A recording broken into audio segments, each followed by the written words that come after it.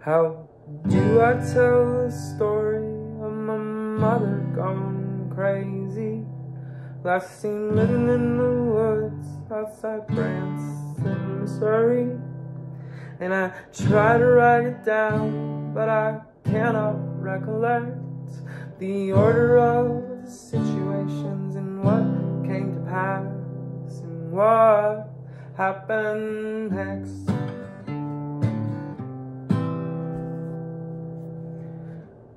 So I kick it back to 12 when I was a smaller kid. With some pigtails and some candy and a box of bunny rabbits.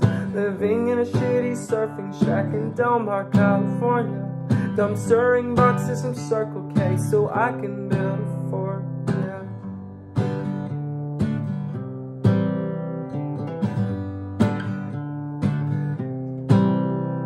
How do I tell the story running the fuck away down the railroad tracks almost every single day?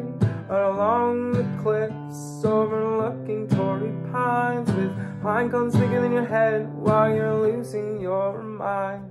Cause you got into a fight with your mom who did believe she could speak to Deanna Troi telepathically. You know that psycho crazy bitch from Star Trek TNG who could read everyone's thoughts. My mom said she could do that to me.